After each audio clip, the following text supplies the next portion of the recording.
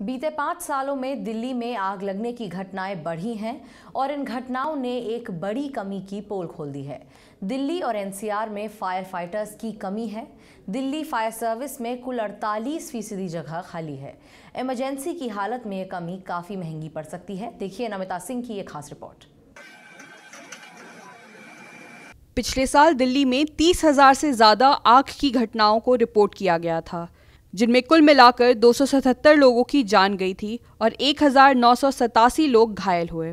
साल 2013-14 से अब तक आग लगने की घटनाओं में लगातार इजाफा हुआ है। लेकिन इन घटनाओं को रोकने के लिए न दिल्ली फायर सर्विस में फायर फाइटर्स की संख्या को बढ़ाया गया और न ही सभी खाली स्थानों को भरा गया है। दिल्ली फायर सर्विस के chief fire officer Atul Garg ने बताया कि दिल्ली में कुल दो हज़ार तीन सौ सड़सठ फायर ऑपरेटर्स की जगह है जिनमें से कुल 1203 स्थानों को ही भरा गया है। बाकी 1134 जगह 2013 से खाली है, यानी कि करीब 48 फ़ीसदी जगह खाली है। इसके अलावा दिल्ली फायर सर्विस में जहाँ टोटल स्ट्रेंथ 3623 है, इनमें से केवल 2077 ही भरे गए हैं, यानी करीब तिरालीस फ़ीसदी जगह अभी भी खाली है।